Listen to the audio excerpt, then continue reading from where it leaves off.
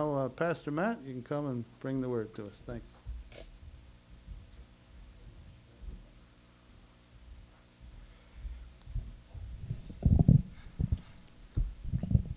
Good morning to everyone.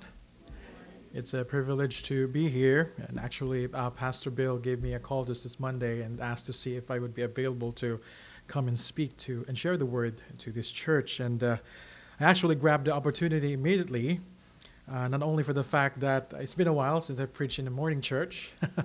Uh, that was way back in the Philippines. And uh, as you probably have noticed, a lot of Filipinos here are uh, working mostly in uh, related to the medical field, and so a lot of them working night shift, and I guess that's the reason why uh, International Baptist Church had their Bible study or their church done in the afternoon, because a lot of them would like to sleep in in the morning, and then go to church in the afternoon.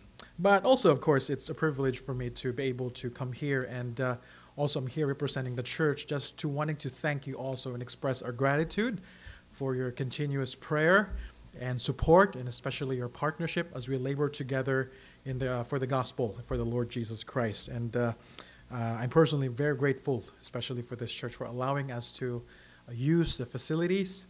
And I'm grateful also for the Bennett family, especially to Lydia and uh, uh, Jonathan. I don't know how they do it. They come here in the morning, they come to the church in the afternoon, and also in the evening service. It was formerly Matt who used to be here. I was back here in 2013, was able to attend the service as well. So I'm, I'm very, very grateful for all that you do and for all your prayers and support for us. Now, uh, just uh, maybe th- this is uh, probably going to be something I would do just once. and uh, just a little bit of introduction about myself. I actually came from the Philippines, although I spent uh, half of my life in Thailand. That's because my parents were both missionaries there for 20 years. So you could say that I'm more Thai than a Filipino.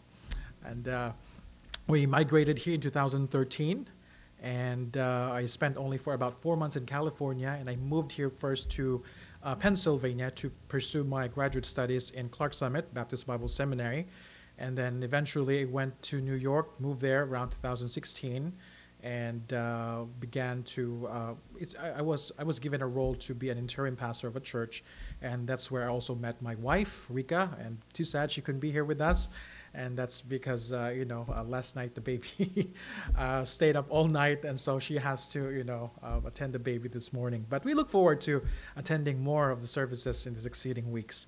And of course, in the 2017, that was the moment that I resigned from the church in New York and that's when the church here in International Baptist Church extended uh, the, the, the role to, you know, if I could come and be the interim pastor.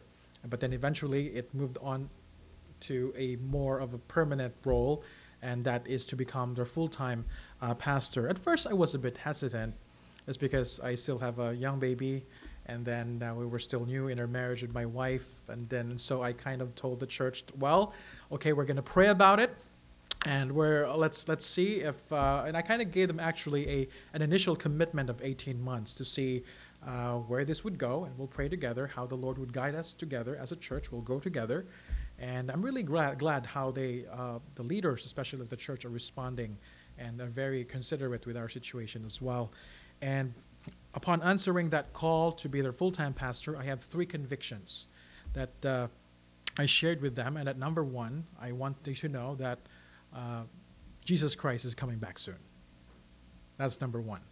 And because of that, number two, um, the harvest is truly plenteous and that the laborers are still few. And number three, Christ has given us the Great Commission to make disciples. And I personally do believe that in order for us to uh, be able to reap those harvests, the most effective way is to be involved in a global evangelization and discipleship. And that's why uh, it is my desire for the church. I'm there to not take away from the leadership from them, but to help them equip the, the leaders of the church and the people of the church to be ready for the ministry, which I am glad that many of them have really responded to take that uh, you know, responsibility to be part of the service for the Lord. And as a matter of fact, yesterday we just had uh, uh, two minute seminars, and that, that is one is for how to lead Bible studies, and one is for be involving in the children's ministry. And I'm glad that there were about 12 men who came, and about uh, 14 women that attended the, the children's ministry. And I'm just amazed how, how the church is very hunger, hungry for, for the Word of God and to be part of the kingdom of God. So continue to pray for the church. Uh, you really are, your prayers are really working, and God is moving something in that church. And uh, I wouldn't claim that it's uh, what I do or what I've done, but it's really by the Spirit alone that is moving in the hearts of people. And that's our prayer. Lord willing, by this coming November, we'll be able to have uh, three different uh, small group Bible studies in the north, and that is in around the Hartford area, and one here in Middletown or here in Hamden, and the other one would be in the south. And all of this will be led by this uh, enabled men or equipped men uh, to, to lead these Bible studies to impact the community around them. So continue to pray with us. We really would appreciate that. And um, we are praying for you too and especially uh, we know that you have a history too with the church, and it's our desire and prayer that uh, in any way we wanted to help the church in return as well. So, how about let me pray for you, and let's go now into the Word of God. Heavenly Father, I wanted to just uh, thank you for this wonderful opportunity for a time to come to worship you. Lord, it's uh, been uh, perhaps some of us here a tiring week for us from work. There's a lot of cares and tr- troubles and trials that is just weighing us down. And uh, we're here, Lord, um, wanting to be still and to just uh, sense your presence, Father, and listen to your voice through the messages of the song that we sing, the prayers of our brethren, the scripture reading, and even, Lord, the. Uh, the preaching of your word. We wanted to once again have a gaze of your glory and to see, Lord, the beauty of Christ. And we thank you, Lord, because the reason why we're here is because we're redeemed. We've been saved. We've been delivered from our sins. We've been purchased by your blood. And we know, Lord, that the reason why we're here is not because of our own, but it's because of the righteousness of Jesus Christ. And that's our confidence this morning. And we're here, Lord. Um, we renounce all the sins in our life and all the impurities in our hearts, any ill motives, any anger, bitterness, any unbelief, Father, we lay it down before you. And we just simply, Lord, want to come as we are, knowing, Lord, that we won't be cast away because of Christ. We can come boldly before your throne because of what Christ has done. And now we can go to you boldly with joy knowing that through Christ we are saved, we are delivered, and we can stand before you, and you will indeed receive us and listen to us and would accept the worship.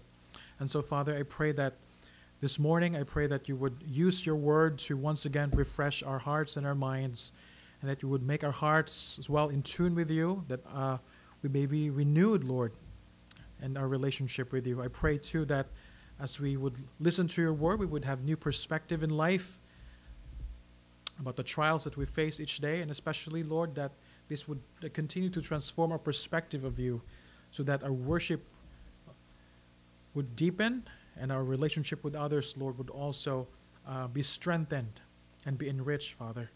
And I pray for your people that you would give them, Lord, this morning a receiving heart, a heart that is teachable, a heart that would listen to you and I pray too that you would prepare them to obey your word as you would instruct them, Lord.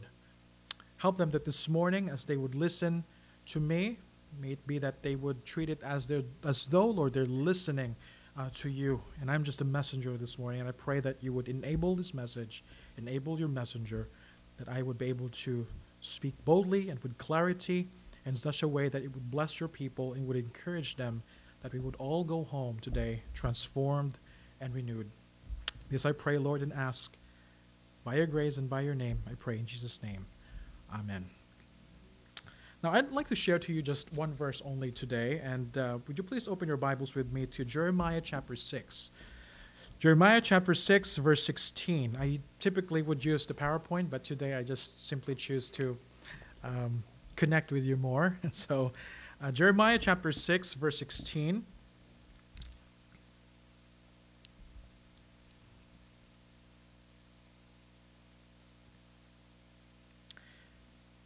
If you could uh, read with me there in verse 16. Together, begin.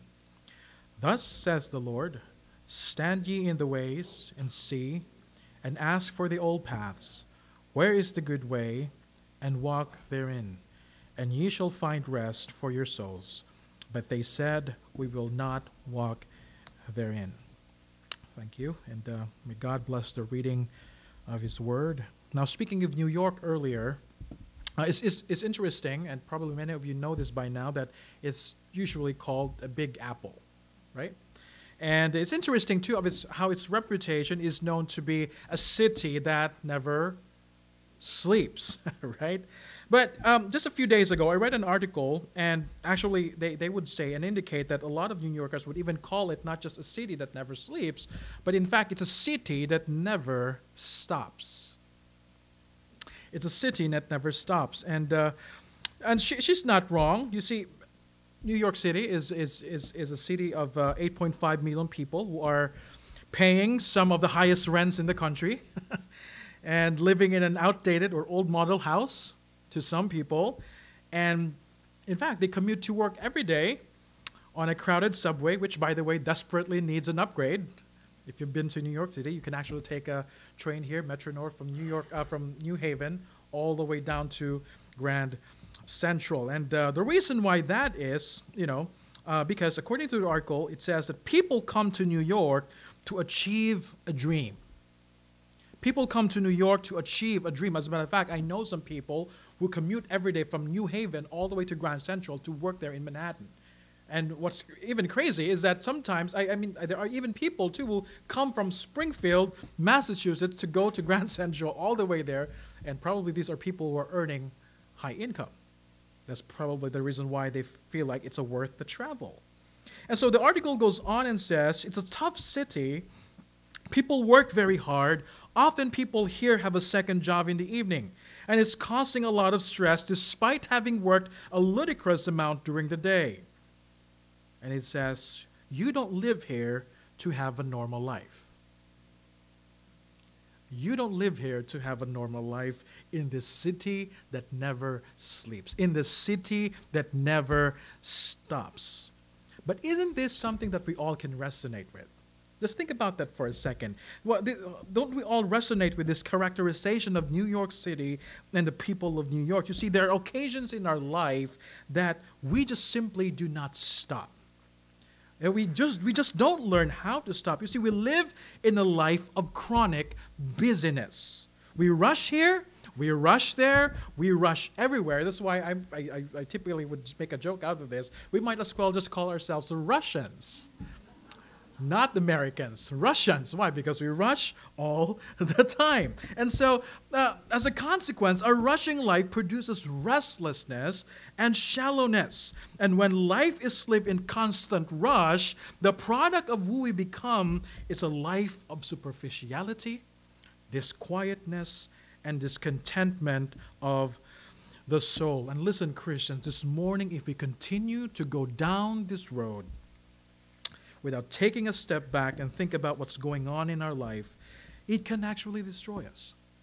It can actually ruin our soul. As, as a matter of fact, in the long run, it's going to affect the people around us, and especially those whom we love. Which has led me to a to conclusion, by the way, that in this world there are only two categories of people. Number one, there are restless people, and number two, there are rested people. Sadly, in America, we have more restless people than rested people. It's, it's kind of funny, by the way, because several months ago, um, uh, my sister in San Francisco, she did her graduate studies and finished it in London. And so, uh, towards the end of her studies, there was about three weeks left before her graduation. Since she was not doing anything, she took the opportunity to go to France and to spend about three weeks there in Paris. And, and so, it's funny how on her third week, we actually talked and had a conversation, and she was telling me how she's starting to get tired of being on vacation and is restless to go back to California, graduate, and get a job. Isn't that kind of ironic though. Now, I'm not sure if this my observation is wrong. Now, I'm, I'm new here in America. I'm only here for six years, but or, or maybe this is just a general observation of the American people today, and that is uh, the observation is this: people love to work and go on vacation, but a lot of times they come back home more tired and they when they were uh, when they uh, when they were when they left. Okay, they're more tired when they were before they even left. Restless people. And isn't it true that while this country is, of course, we brag about it, that it's a nation of opportunity, and we brag, about freedom, and yet the most unhappy and the most anxious and depressed people lived in this country, let alone the suicide rate of this country. Where is restedness? Where is restedness? But would you believe me that this morning, if I told you that there's a place of restedness in the soul where you can find long lasting joy and satisfaction? As a matter of fact, Christians, God has called us to restedness in Him, a place to anchor in the deep things in life. What really matters most in life, especially the deep things of God, to find stillness and quietness of the soul in the presence of God. But how? The question is, how do we do it? How do we do it? And we can actually find it here in this verse that we have just read. In just simple one verse here, we can find here three key consideration. As a matter of fact, I would consider this as a wisdom that comes from these ancient prophecies of Jeremiah to teach our restless soul how to find that rest. Number one, this first key consideration is this. Number one, beware of busyness without stillness. Beware of busyness without stillness. What's the word of God saying? In verse 16, 8 says, there, Stand ye in the way and what? See. In other words, what he's saying there is to stop or cease and look. And I think this is one of the things, hardest things to do these days, and that is to stop and look, to stand by the way and see. Now, speaking, by the way, again of New York, especially in Manhattan, it's kind of amazing. There was an article released too just couple months ago. They said that one of the requirements for you to live in the city is that you must be able to walk really, really fast. you know why? Because when you when you slow down, it's either people are going to bump into you or they get mad at you for walking really slow. Because everybody is just in a fast pace. And I think this is a very perfect analogy of what real life is. It is full of rushing and going and running and so busy. It's hard to stop and look and to stand by the way and see. Now, just so you know, the context of this verse, it, it was actually addressed to the people of Judah. And, you know, just so you know, they have lost their way, and the judgment of God is coming to the Babylonians. It was falling upon them. And so Jeremiah here was addressing to these people who were at the crossroads of their lives. And now they're at the point whether they should repent, go back to God, following Him, obey His commandments, be faithful to them, or continue in their stubborn ways. And similarly, maybe we have these types of crossroads too in our lives as well. I mean, probably right now you're confronted with maybe tough choices in life, dilemma, challenges in life, calling you to, to, to push yourself, catapult yourself to God, who is our only health. It doesn't matter where you are in your phase in life, whether you're just in your prime years or maybe you're in the latter years of your life. Crossroads are not respecters of persons. Challenges are always everywhere. And so the people of Israel uh, here are in their crossroads. And so they have these decisions to make in their pilgrimage and in confounded sense of lostness. The words of Jeremiah came, and this is what he said Stop by the roads and what? Look. Stop by the roads and look. Are you in a crossroads today? Are you feeling any challenges lately? But you see, people, the challenge here is stop.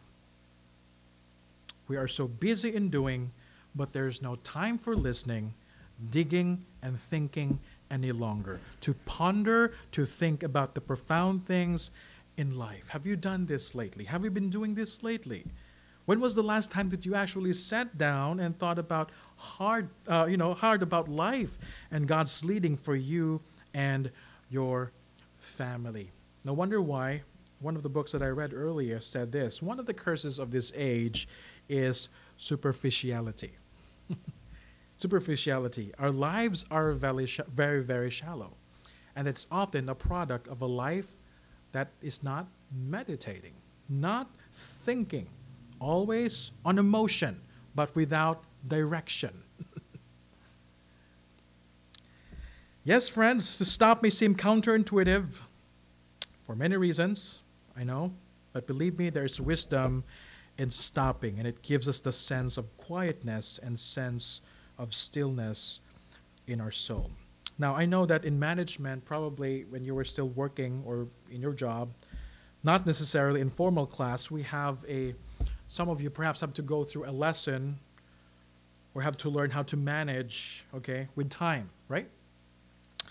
And uh, a lot of us have probably developed a skill of making your own, I would say, to do list. Many of you probably put there in your refrigerator. There are to do list in your life or priorities. Now, today I want to share to you a new perspective, a new paradigm.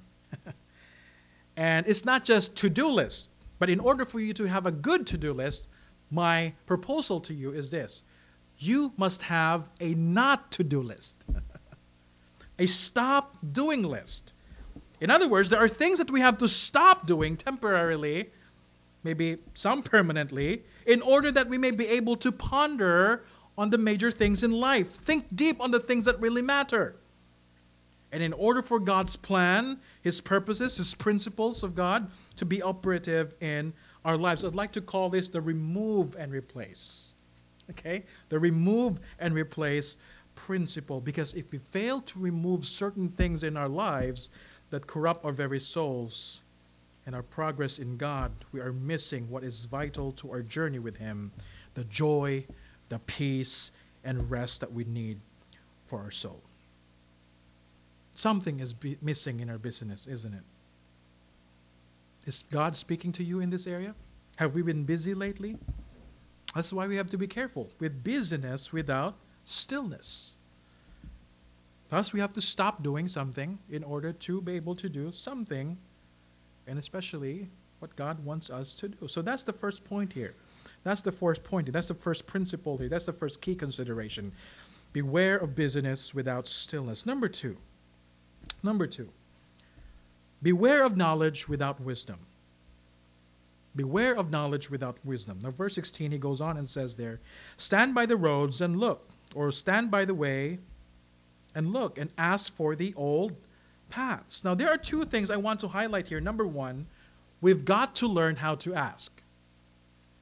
And number two, what we are to ask here specifically, Jeremiah says, we are to ask for the old paths. Some translation would use the ancient paths. Now, often we lose our sense of direction, right? Whether you drive or you walk, not necessarily because we don't think we know the direction, but rather, oftentimes, we tend to assume that we already know. Okay? And because we assume that we know, we fail to ask. That's a typical situation that we often encounter. And likewise, in our relationship with God, in our Christian walk, we fail to ask Him because we assume that we know. Resulting to a lost sense of direction, we don't know what to do in the crossroads of life, and with this assumption, we fail to stop and look and ask of Him. That's why someone wiser told me this, and I would never forget this. He said, Don't be shy to ask questions. It doesn't mean you're weak, it simply means you're wise. and a wise person asks good questions. okay? And the second highlight here is this. And this is the counsel in verse 16. God implies that we ask something very specific here. And Jeremiah says, Ask for that old paths. Ask for that ancient paths. And what is this ancient path here? What is this ancient path? Now, in the context here, the word ancient path comes from the Hebrew word, which gives us a sense of time, okay? And it's not just a great measure of time, but in fact, an eternity time. And when we think of eternity, it's not just lots and lots of time. The notion of eternity here, rather, is a timelessness. It's in the sense of timelessness. And thus, I want to suggest to you in the text here that the ancient path here, or the old path, refers to timeless path. Okay? And what is this timeless path Jeremiah is referring to? And I want to suggest to you here that this timeless path is the revelation of God. It is the Bible. It is the Word of God. It is the timeless truth of God because the Word of God has already been there even before the beginning of time and has always been throughout the history, no matter how many people have tried to destroy it, and it's always been there. Would you believe it that even philosophers believe in the wisdom of the ancient literatures? in fact, they even tell you that if you really want to be wise, don't just you know listen to someone wiser than you, but they would encourage you to even read literatures of the dead people. Why? Because you're not only learning from the people who are living now with their wisdom from these experiences of this life, but when you read literatures written by dead people, you actually are also encountering and learning from the experiences and their journals and all their lessons from their lifetime. Whether that the time before Christ or after Christ, the time of the reformers, the time of the enlightenment and all that, it's all full of wisdom. And the point is, if we can learn from these people and their wisdom, how much more with the Word of God? That has always been there. And the truth and its principles are timeless and it's always relevant in whatever times that we live in. Now, I conducted a survey just a few years ago among the elderly, and I kind of let them choose between, you know, I asked them, number one, would you rather have the strength from 40 years ago in order to live now? Or would you rather have your wisdom now and live 40 years back.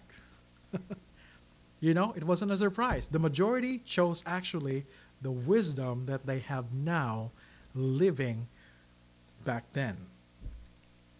You know why? Because of wisdom.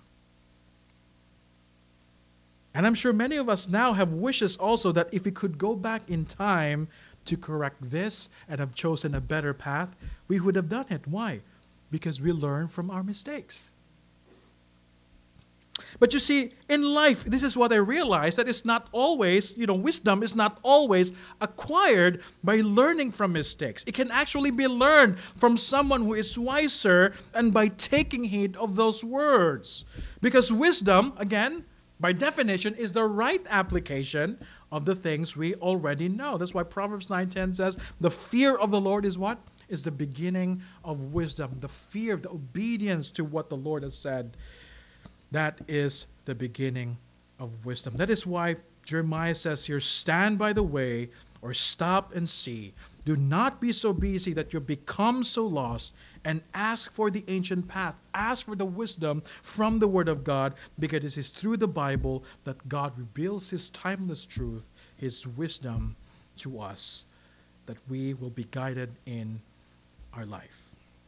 Now, there's a poster I saw once that goes this way Beware of the barrenness of a busy life.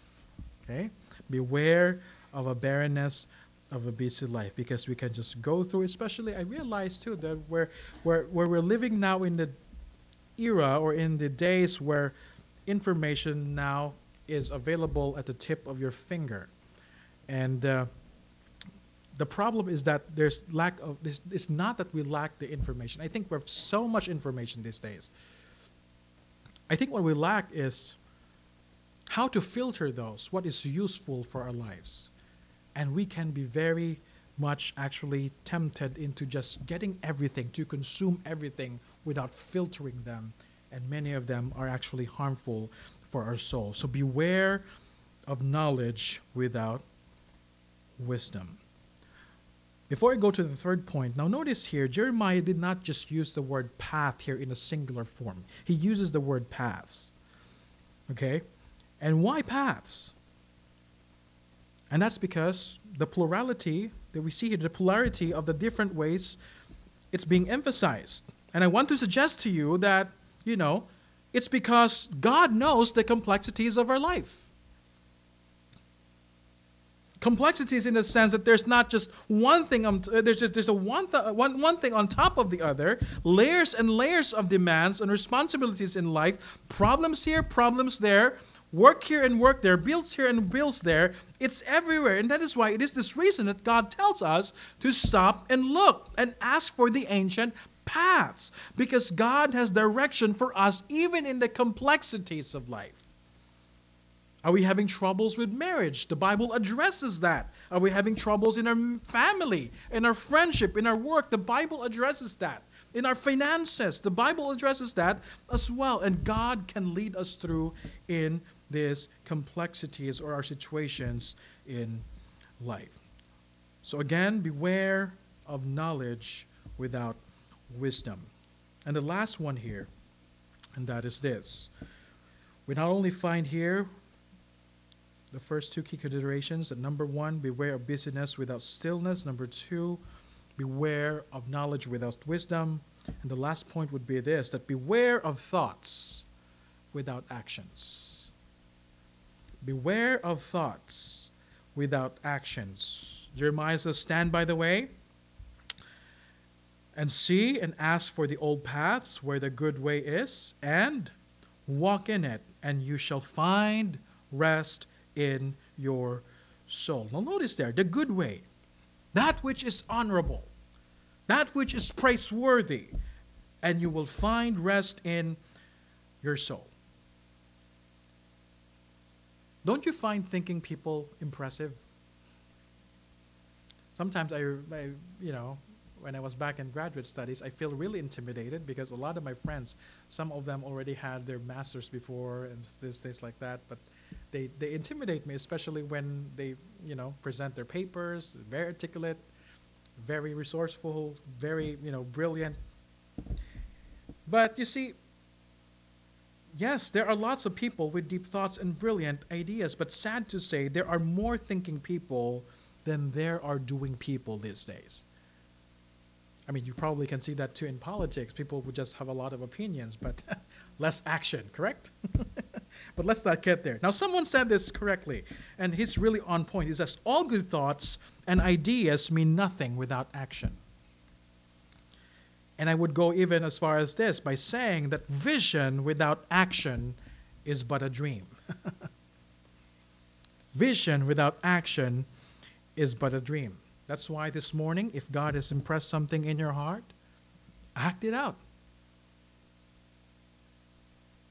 Because what's impressive about Christian life is not so much how many amens do we get in Sunday mornings or how many times you've been convicted by God, but without putting that into an application and into action, there will be no changes in your life today. And friends, you know what? Um, I'm still young in the ministry, and this is one of the things that I learned. The truth itself does not change life, but truth applied is what changes lives. It's not just about, you know, appreciating the truth, but it's, it's the application of the truth that changes life. It is by walking in it. And the Bible gives us promise that we will find rest in our soul. So these are the three key considerations of Jeremiah. Number one, he says, hey, beware of busyness without stillness. Number two, beware of knowledge without wisdom. And number three, beware of thoughts without actions. Perhaps today you are restless. Perhaps today you are troubled. Perhaps today you're in a crossroad where you need to make a decision. So, personally, this is something that's really challenging me too. Sometimes I wish I could go back to the Philippines where everything is just, you know, uh, life is a little laid back. People still get to talk.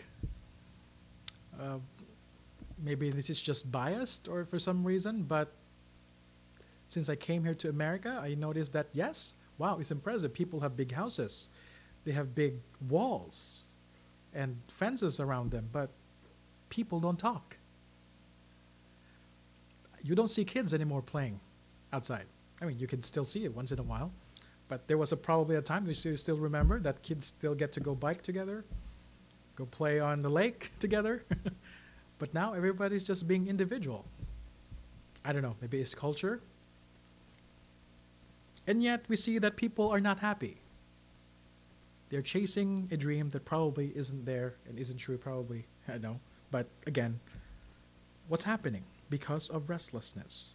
And so that's why here Jeremiah says, Stop, see, and ask for timeless wisdom.